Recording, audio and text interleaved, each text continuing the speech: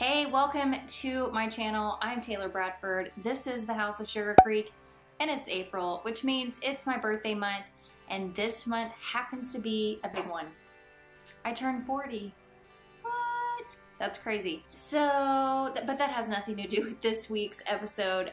This week, I am taking you on a journey into my brain and we are going to walk through the design process of a vow renewal. And let's go.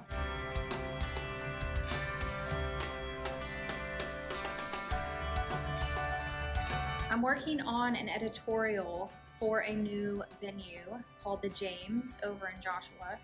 And I had to run up to Fort Worth today to have a meeting with my cake artist, Jamie with Creme de la Creme Bakery. And then also I needed to do a gown fitting with our model and Bliss Bridal Salon. So I did that and that's all gonna happen next Wednesday. But I also knew I needed to go get some fabric for one of my clients, but also for this editorial. So I have been trying to figure out what exactly I was gonna do with the tables for this particular editorial. And it's a real vow renewal. So my couple is actually renewing their vows and they have the cutest little boys that will also participate.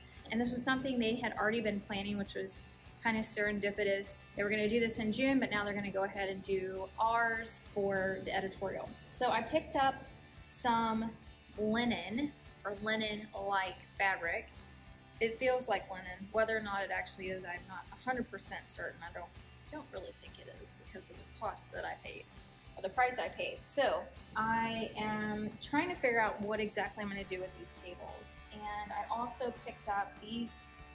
Not only is this kind of a color in the palette, but these guys are also a color in the palette. And I just grabbed basically a yard of each one and I'm trying to figure out if I'm going to make them into napkins and so having three different colored napkins or if I'm going to utilize these as kind of like a place setting holder so kind of like a charger but with a fabric so basically I would cut a square and allow it kind of to drape off and then place the plate. So I'm using my ivory stoneware to uh, for this editorial. So that's what I'm trying to figure out is am I using these as napkins or am I using them as place setting holders? The materials are all different. Um, this one, this is the color, but on the flip side, it's a super shiny satin, um, but I don't want the super shiny side, so I have to make sure however I use it to make sure this is the primary, the primary color and texture and not this shiny side. This, I don't even know what you call this fabric. It is super silky, but it's not silk, but it's it's super silky. So, I mean, it's got a great drape to it. It's kind of crepey. Um, I don't have a clue what kind of fabric it is. Maybe it is a crepe, who knows. And then this one is definitely a lot more linen-like, uh, similar to this one. And so I was thinking about either, I'm gonna be using one of our farm tables in this setup. So I was thinking about running this down the middle and then placing the tabletop on it and then using these guys as a napkin. So that's what I'm gonna go ahead and do. I'm gonna pre-stage this as if these were napkins. And while it is super, super large fabric, I think I'll be able to get an idea as to what this might look like with napkins. If I decide to go the other direction and use these guys as place mats, place holders, place setting holders, I I don't know how it's gonna look because it will be multicolored and I'm going a little bit more minimalistic with this setup and I think it'll make the table too busy and I really want to go minimalistic. So I think I'm already telling myself that these guys are going to be napkins. And yeah, so let's dive in.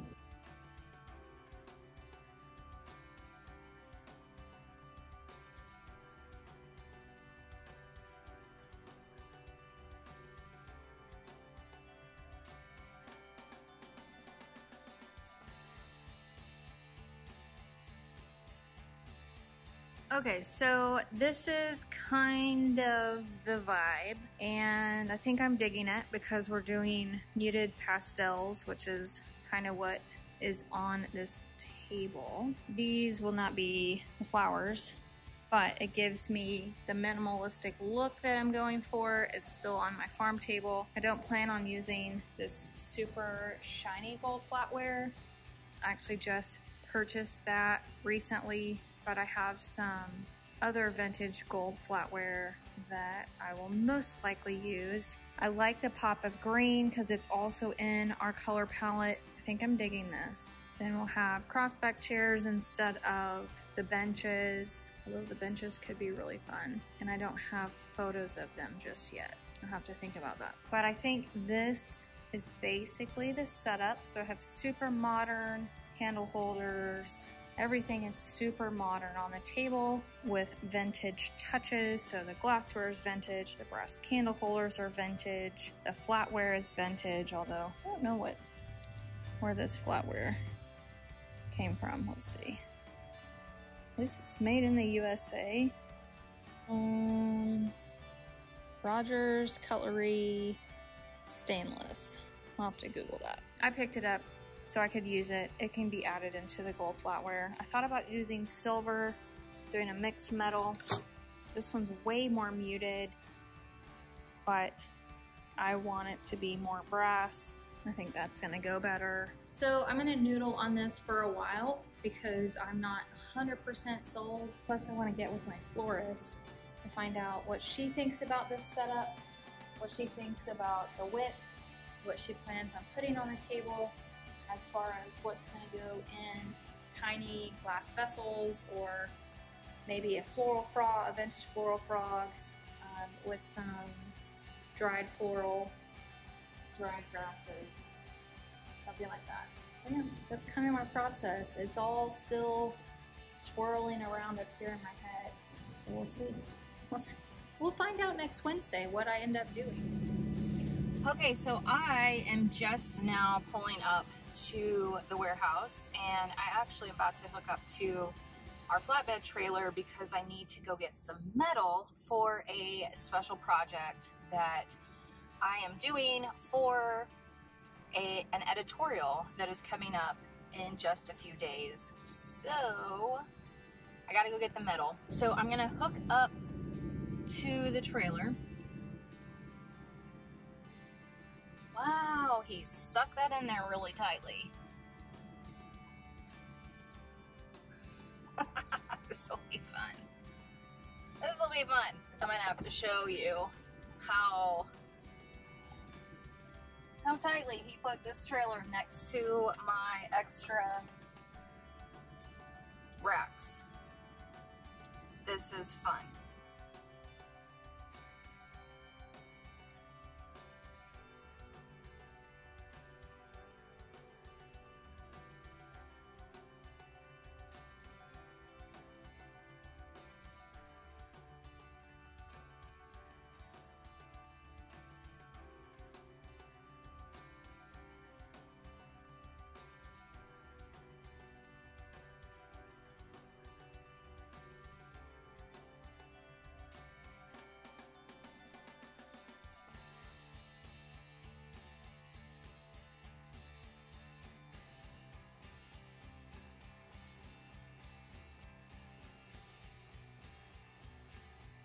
All right, I just need a scrap sheet of paper to figure this out because I gotta go get the metal. Okay, so I am building, let's see, what are these things? These are backdrop stands.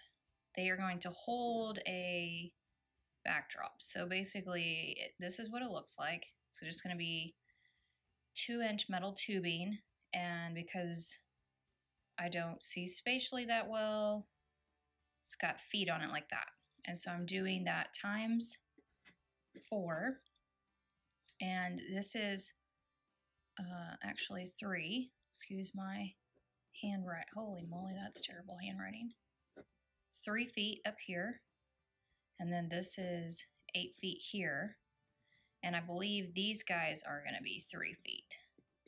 So I need to do the math of what and how much I need. Okay, so here is my math. I need eight eight foot sticks and I need 16 three foot sections.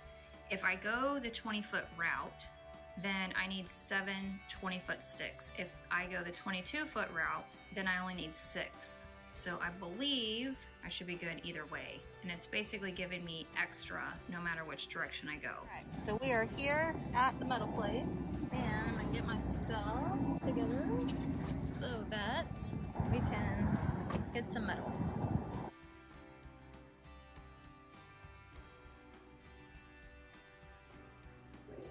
Right, metal is ordered. Now we gotta drive through. Okay, so I am back with the metal and I still have to go to Home Depot, but I did not want to leave my trailer out there because this is not cheap metal and it's just easier for me to go ahead and unhook it. So there it is.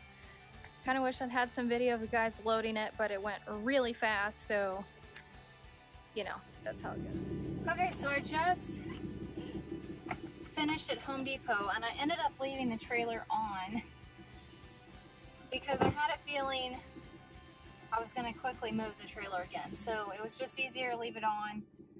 That way it can just go back in the spot it originally was.